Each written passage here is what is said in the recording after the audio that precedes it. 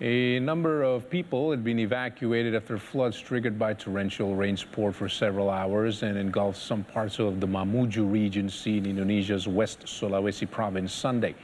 Rescuers used rubber boats to evacuate people, particularly women and children, to safer locations. The floods had inundated at least 300 houses located in west crossing of Sulawesi around Simbuang gas station and the bamboo village at Mamuju district. The floods also hit at least three areas in Ranggas Ward, Simboro District, and West Crossing of Sulawesi around Simbuang Gas Station and Bamboo Village.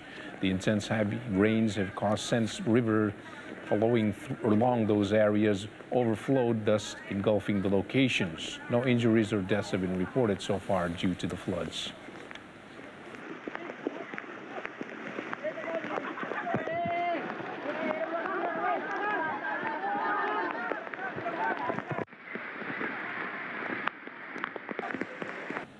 Scattered thunderstorms hit Chinese capital Beijing Sunday, causing many areas to be pummeled by sudden hailstones.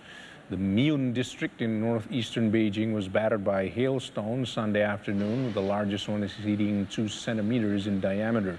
Hailstones also hit the city's central urban area Sunday night. The hailstones were accompanied with gushes of strong wind and rain, which disrupted traffic and posed safety concerns for some residents. Scattered thunder showers are expected to hit Beijing during daytime Monday, accompanied by short-term heavy rain, strong winds and hail in parts of the city.